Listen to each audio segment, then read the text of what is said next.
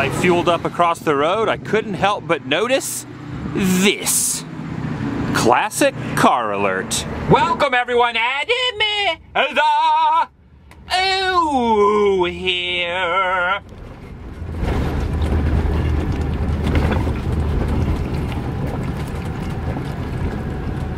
It's my second channel, daily vlog channel. It's the daily. Starting the day off in the little town of Neligh, Nebraska. And would you take a look at this fantastic old theater? The New Moon still has the template for the coming attractions, the marquee, the lights to illuminate it, and it appears as if at one point it became a video store. Newer generations might not know what a video drop box is or was, but I remember. Oh yeah, I remember.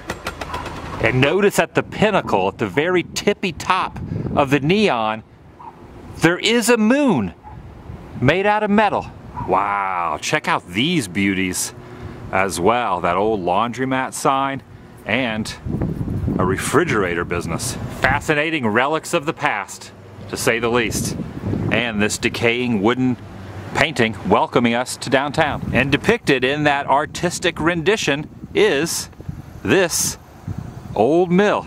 Built in 1873, it's the only one of its kind anywhere in the state that still has its original equipment. Inside this room, pancake flour was packed up into bags Look at the wall and the old school calendars that still remain there. I can't get any closer. I'm behind a piece of glass and a locked door. The patent on this machine is 1888, long before I was even a glimmer in my parents' eyes, or they were even a glimmer in their parents' eyes. People were working right here at this station. Hear the sound of rollers.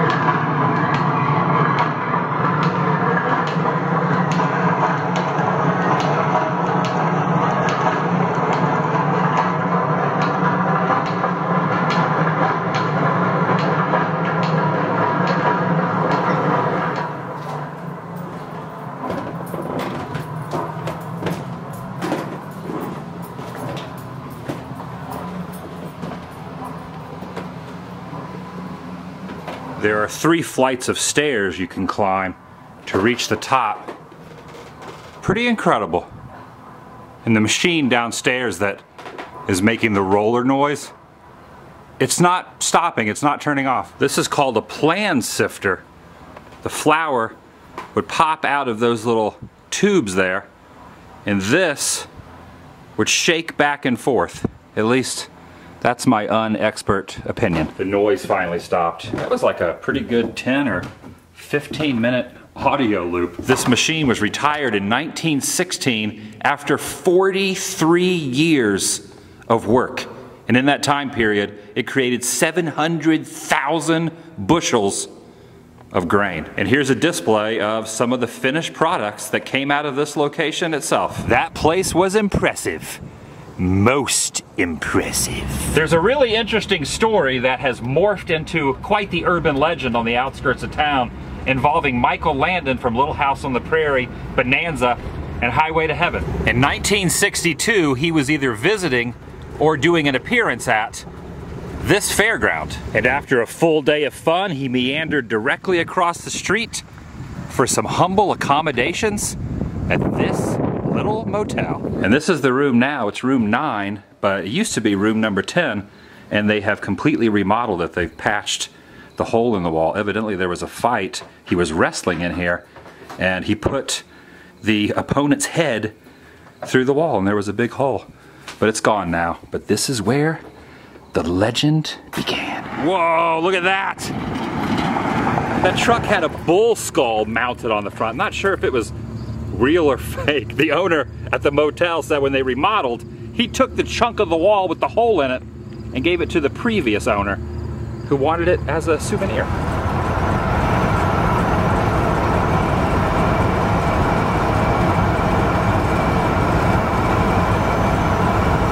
I'm kind of from all over. I travel around in the RV oh. and you've nicknamed your little scooter the Chariot. Look at that. Yeah, they made them a couple years in Minnesota, but they quit them four years ago. How long have you been collecting all of these? Five. 55 years. It started in 50. Oh, 1955 is when you put your first bell out here. The one that started off the collection was his old school bell. That's the first one he put here. And now it has grown. How many do you have total?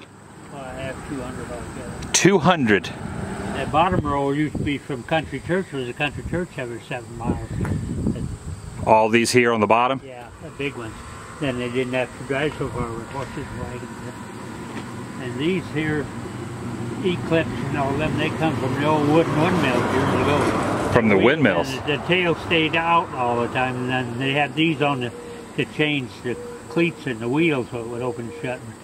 The Eclipse made that one all the time, and then 1913, they made that one over there. See, that's a dry moon. It wouldn't rain. Oh, Which would buy it on the Right here? year. that's, that's a dry moon facing that direction? The water won't run out of that. Okay, so a dry moon faces that way and a wet moon faces the other way. You can hear that three miles. So if you were to ring that, your neighbor's three This one is yeah, Three that- miles that away would hear it. Be heard four for miles. four, so it, whatever the number on top Yeah. signifies the distance. But it's different companies. See, that's the 26. That's the diameter on the bottom. 26 miles you could hear that bell? That's the 26. That's a different company. The 26 inches in diameter. Okay, so sometimes it's the diameter and sometimes Yeah, it's the distance. So if you were to fully ring that very hard, you would hear that for three miles. Yeah, I lived eight miles south here, and I could hear these bells on a good day. I could hear these ring eight miles. There's my smallest bell right there. Oh, you got it hanging from your. Finger. Oh, yeah, there you go. Yeah. Little teeny tiny bell. You still have that? Oh yeah. I got one half that big now. So you have big bells and small bells. They knocked it down a couple years ago. And that's where you went to high school. Yeah, yeah, out southeast of town, eight miles. Stairs are still there, but everything else is decomposed. Everything's gone. Everything's gone a now. hole. They burned it and dug a hole and put in the rest. So it's sideways, rolled down the hill. So that's your tractor and you fell off the hill? Yeah, I rolled down the hill from up here. I was Did you get hurt at all or No, I jumped off and run, but that rig caught my pliers pocket and tore that off. population of one? Yeah. So there's just one person living there that owned the bell and you went and got the bell and put it in the back of your truck? Uh, her husband used to have, it's a filling station on the road, and her husband always helped with it. And he died, she cleaned up and everything. now do you have this bell here on property? Yeah, this one here. And there it is. You can see there's a hole in the side. He said that came from someone firing a rifle into it.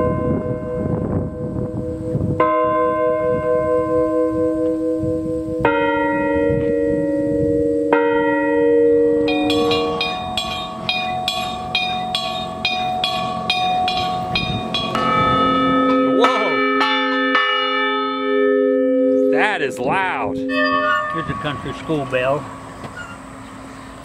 That topper up there I run before, that was all farm bells years ago before there was watches. The buildings being middle of of the farm and at noon mom would ring the bell and if you call waiting for the horses you could hear that and then they'd come home for dinner.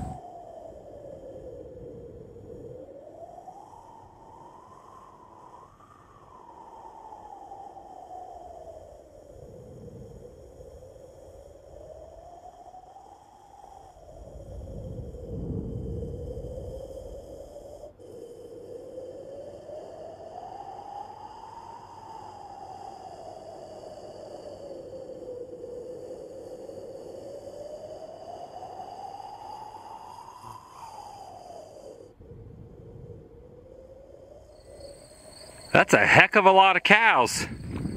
Just hanging out there in the field. What are you doing over here by yourself? Are you the loner? Are you a loner? You getting camera shy? Don't, it's okay. Don't be camera shy. Come out of your shell. No, no, no, come, come back. Come on. You don't want to be in the vlog? You want to be in the vlog or not? You do, don't you? You don't? You do or don't? So difficult. He's just being so difficult. What about you guys? You got any shout outs you want to give? You, you got anybody you want to say hello to? Just, just shout it out. Just say it. Nothing, huh? Nobody, no, nobody in mind, I guess. There's just something about cruising the back roads, wind in your hair, the breeze in your face, and that manure stench. Get the windows up. The manure stench is very, very permeating. Well, this escalated quickly. Storm clouds rolled in pretty fast, and now it's raining. I was getting a little hungry, so I got some snacks for the road right here at a place called Pump and Pantry. And check out their mascot up there. It's a wolf with a beverage. Hey, you're daring. Standing up there on top of that very high roof. This gentleman is fixing a light in the lantern there. The town of Taylor has 84 of these wooden structures painted black and white.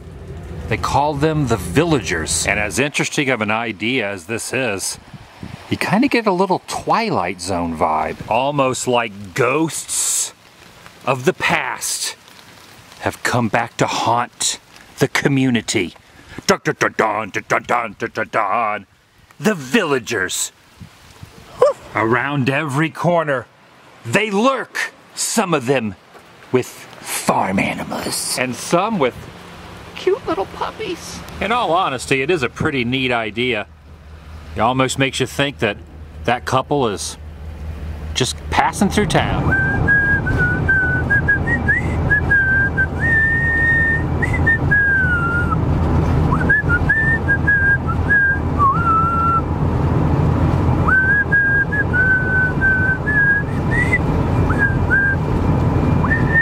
Man, that's a hard note to hit. Vlog is pretty much the only person out here. Hey, look at this. Let's try that again.